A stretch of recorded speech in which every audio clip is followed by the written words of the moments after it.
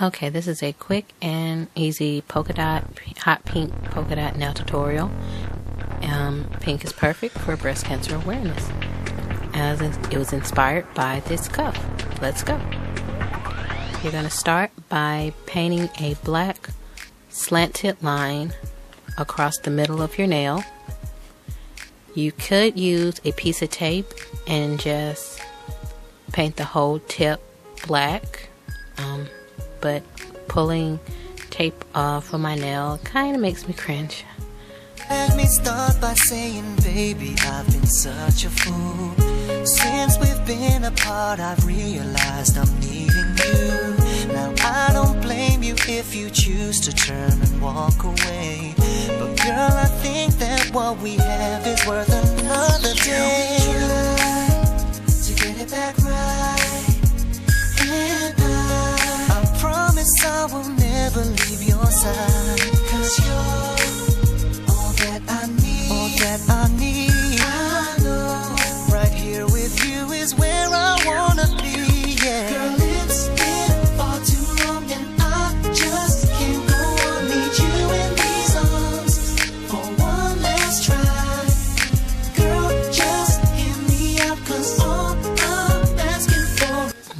Now we're gonna fill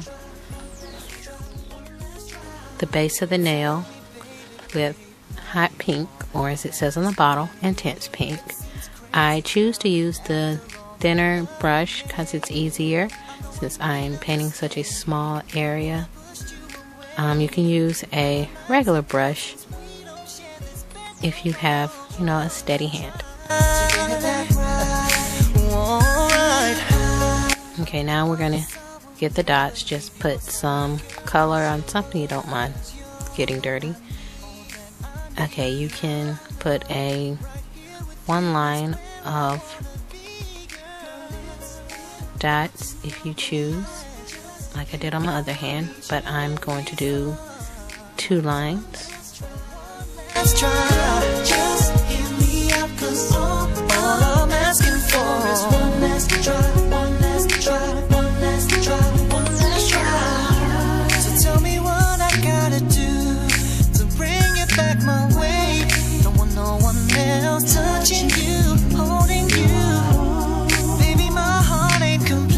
Going to show you how you can put the dots using a bobby pin. You don't need an actual dotting tool.